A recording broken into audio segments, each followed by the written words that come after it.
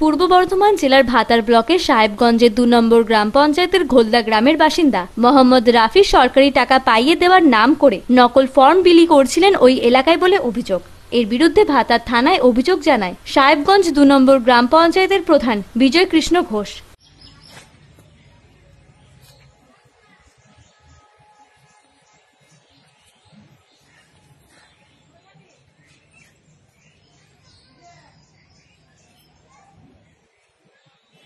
তার লিখিত অভিযোগের ভিত্তিতে বুধবার গভীর রাতে পুলিশ ঘোলদা গ্রাম থেকে মোহাম্মদ রাফিকে গ্রেপ্তার করে।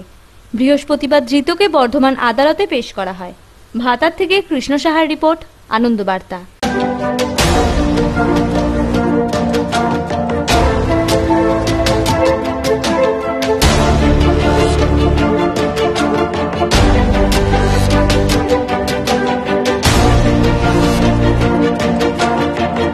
নমস্কার, আমি কুশল চক্রবর্তী।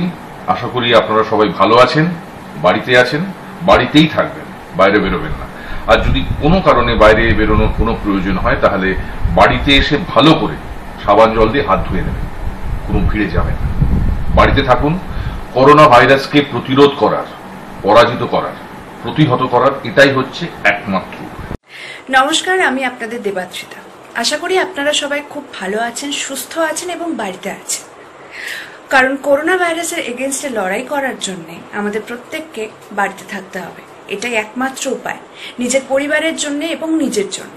তাই আপনারা সবাই বাড়িতে থাকুন, সুস্থ থাকুন এবং ভালো থাকুন। নমস্কার, আমি দেবরাজ। আমরা সবাই জানি আমরা এখন একটা কঠিন পরিস্থিতির মধ্যে দিয়ে যাচ্ছি। করোনার সঙ্গে ফাইট করছি আমরা। সবাইকে একটাই কথা বলার, ঘরে থাকুন, সুস্থ থাকুন, ভালো থাকুন। আমাদের বাঁচা মরা কিন্তু আমাদেরই হাতে। কোনোভাবেই ব্যাপারটা হালকাভাবে নেবেন না। কটা মাত্র দিন? ধরে নিলাম আরও দু মাস। ধরে নিলাম। ঘরে থাকুন। সিনেমা দেখুন। অনেক কাজ আছে। পরিবারের সঙ্গে সময় কাটান, গল্পের বই পড়ুন। যে যেটা ভালো লাগে সেটা করুন। কিন্তু ঘরে থাকুন। আমরা জিতবই। নতুন সূর্য উঠবেই।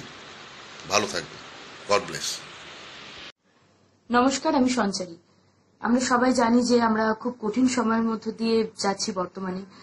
এই করোনা ভাইরাসের হাত থেকে বাঁচার জন্য আমাদের সামনে সবার আগে একটাই রাস্তা খোলা আছে। আমরা যেন অপ্রয়োজনে বাড়ির বাইরে না যাই এবং ভিড় জমায়েত এড়িয়ে চলি। যদি খুব প্রয়োজনে বাড়ির বাইরে যেতেও হয়, তাহলে যেন ফিরে এসেই আমরা সাবান দিয়ে হাত ধুই। আমরা যেন স্যানিটাইজার যথাসম্ভব ব্যবহার করি। এছাড়া কিন্তু করোনা ভাইরাসকে আমরা প্রতিহত করতে পারব না। আপনারা আশা করি এর গুরুত্ব বুঝবেন। আপনারা সবাই সতর্ক থাকুন, সাবধানে থাকুন। নিশ্চয়ই আমরা একসাথেই লড়াই জিততে পারব। নমস্কার, আমি সঞ্জয়। আপনাদের সবার কাছে অনুরোধ, এই করোনা ভাইরাস মোকাবেলার জন্য কয়েকটা দিন বাড়িতে থাকুন। দেখবেন সব ঠিক হয়ে যাবে। ভাইরাসটা যতই মারণ ভাইরাস হোক না কেন, চিকিৎসা আমাদেরই হাতে। ঘরে থাকা, নিজের পরিবারের সঙ্গে থাকা নিজের পরিবারকে ভালো রাখার জন্য, নিজে ভালো থাকার জন্য প্রত্যেকে বাড়িতে থাকুন। নমস্কার, আমি সন্দীপ নন্দী বলছি। আশা করি আপনারা সকলে ভালো আছেন আর ঘরেতে আছেন। এই আগামী কটা দিন আপনারা প্লিজ ঘরের মধ্যে থাকুন। তাহলে আমরা এই করোনা যুদ্ধে জিততে পারব। কারণ করোনাকে হারাতে হলে কিন্তু ঘরেই থাকতে হবে। অযথা বাড়ির বাইরে বের হবেন না। আর যদি বাড়ির বাইরে বেরই হতে হয়, তাহলে বাড়ি ফিরে হাত ধুয়ে ভালো করে সাবান দিয়ে পরিষ্কার করে ঘরে ঢুকুন। আগামী কটা দিন বাড়িতে থেকে আপনি এবং আম- সমগ্র দেশবাসীকে বাঁচাতে সাহায্য করুন। নমস্কার।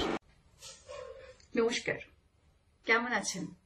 আশা করি আপনারা সবাই বাড়িতে নিরাপদে ভালো আছেন। আশা করব তো তাই। বাড়ি থেকে বেরোবেন না। বাড়িতে থাকুন। বাড়ির মানুষের সাথে সময় কাটান। আপনারা সবাই জানেন যে আমরা একটা কঠিন পরিস্থিতির মধ্যে দিয়ে যাচ্ছি। কিন্তু আমরা যদি সবাই আমাদের রাজ্য সরকার এবং আমাদের গভর্নমেন্টের কথা শুনে চলি, তাহলে এই যুদ্ধটা আমরা খুব শিগগিরই জয় করে ফেলব। সুস্থ থাকবেন, ভালো থাকবেন। আর নতুন বছরের অনেক অনেক অনেক শুভেচ্ছা, ভালোবাসা এবং অভিনন্দন।